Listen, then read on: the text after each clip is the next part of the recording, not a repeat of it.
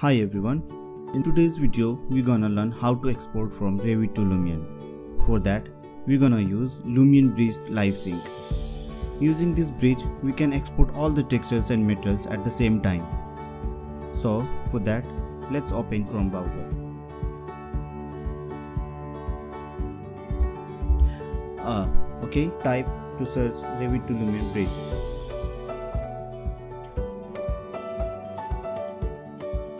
Now click on the link. Here we can see the versions of Revit and Lumion.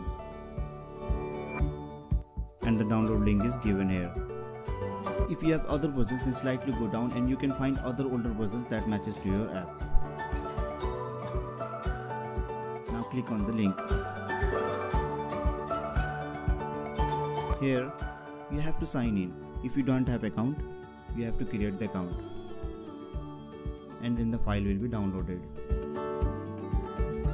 Now let's install the application.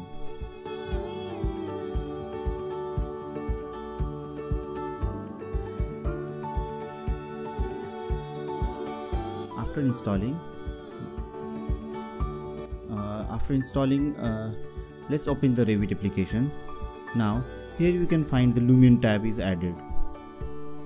Thank you. That's all for today. For more videos and ideas, please subscribe our channel and you can also like our Facebook page or visit our website www.nce-nepal.com.np.